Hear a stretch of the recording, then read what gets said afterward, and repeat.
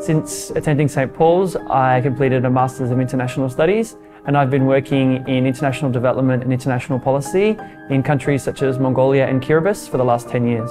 It can be very challenging sometimes, but it's amazingly rewarding. It's so great to see the outcomes when you work really hard and to see changes being made and to make a difference feels really good. My name is Andrew Antenucci. I'm from the class of 2000. From a very early age in my time at St Paul's, the value of service was really important. It was driven home not only in chapel, not only in religious education, but also in school. The school always provided opportunities to, to help out.